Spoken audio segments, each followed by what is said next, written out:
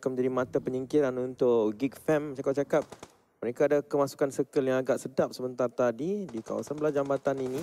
Dan rasa seperti mereka kemungkinan besar dapat settlekan Shine Light Diamond untuk conquer seluruh kawasan jabatan tersebut tanpa diganggu oleh sesiapa semasa mereka cross. Tiga mata on the way bagi Geek Fam.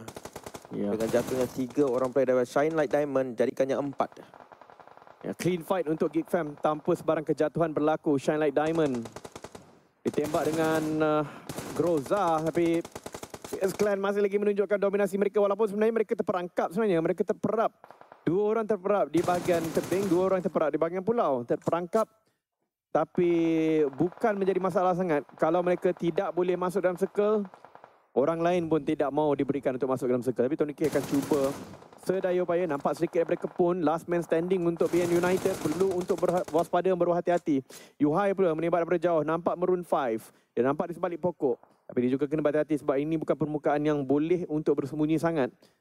Hai, mungkin nampak lagi ramai dia membuat dia membuka dia punya TPP untuk mencari di manakah lagi gerangan-gerangannya orang dapat jumpa Vintoras dapat Chua tapi Vintoras telah mendedahkan dirinya kepada pelbagai jenis angle pelbagai jenis sudut yang mana dia boleh ditembak oleh Xavier Frankie telah terjun ke dalam terlebih dahulu tapi circle mutlak memang pergi ke arah alter ego dan ini merupakan satu berita yang cukup cukup menakutkan untuk mereka yang menjangkakan circle itu akan pergi ke bootcamp dan juga painan.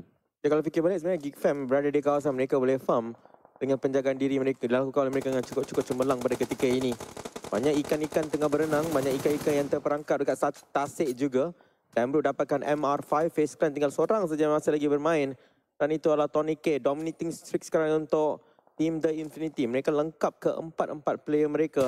Tony K tak boleh lakukan revival sebenarnya. Kalau mati memang mati dan 6 elimination point sekarang ini akan menjadi milik Geek Fam. Oh memang dapat farm Face Clan tapi mereka dilihat oh siapakah sebenarnya. Mungkin terlalu lama Alah. extension mereka di bahagian luar. Bacon time dapat dua daripada pasukan Geek Fam Mikawapi dan juga Yuhai. Dua maut ini yang mendatangkan chicken dinner di Miramar. Kali ini hikmat mereka terhenti di Sandhawk dan kembali kepada Snipes dan Damrut untuk mendapatkan markah yang setinggi mungkin. Tapi Alter Ego berada di tempat yang cukup enak